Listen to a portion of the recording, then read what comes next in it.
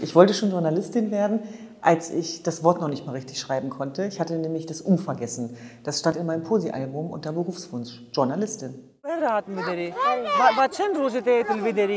Also meine jesidische Identität war sehr lange Privatangelegenheit. Und das hatte auch was damit zu tun, dass die Jesiden verfolgt werden, seitdem es sie gibt. Ja, wir kommen aus der Türkei, aber da gibt es aber nicht nur Muslime, es gibt auch Christen, es gibt auch Jesiden. Und ähm, das ist eines der ältesten Religionsgemeinschaften des Mittleren und Vorderen Orients und geht bis 4000 Jahre vor Christus zurück. Und äh, wir glauben auch an Gott. Ähm, und ähm, bei uns gibt es auch Engel, aber wir sind keine Schriftbesitzer. Das heißt, wir haben keinen Koran oder keine Bibel.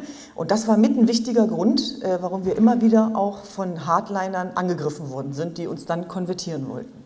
Ich glaube, die zentrale Frage im Leben von uns Menschen sollte immer sein, lebe ich oder werde ich gelebt? Und ich wurde nachts wach und wusste plötzlich, ich muss jetzt gehen. Und dann bin ich zu meinem Chef gegangen und habe gekündigt und der war geschockt, weil er nicht damit gerechnet hat. Und ich musste an Kafka denken, der gesagt hat, weg von hier, das ist mein Ziel. Weil er gefragt hat, weißt du schon, was du machst? Und ich wusste es nicht. Ich hatte keinen Plan B. Und das war 2013.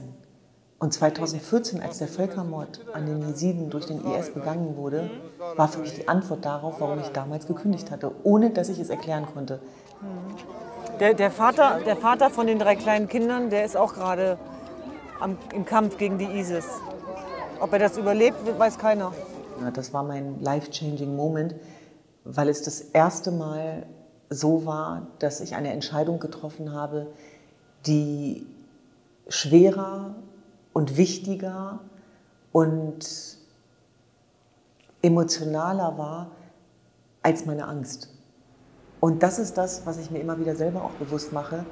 Es wäre ja auch was in mir gestorben, wenn ich es nicht gemacht hätte. Ich bin dorthin gefahren als Journalistin und bin über Nacht zur Kriegsberichterstatterin geworden und als Menschenrechtsaktivistin zurückgekommen. Und der Leitgedanke, der all unsere Initiativen trägt, ob das Hava Help ist oder auch German Dream, hat was damit zu tun, dass wir den Angstmachern was entgegensetzen wollen.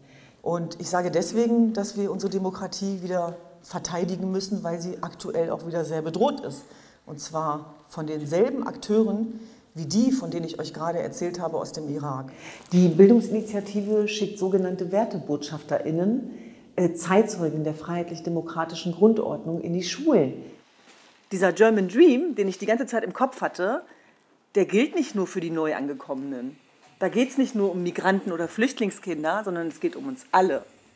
Weil die Fragen, die euch umtreiben, ähm, sind oft sehr, sehr ähnlich. Und zwar unabhängig davon, woher man kommt.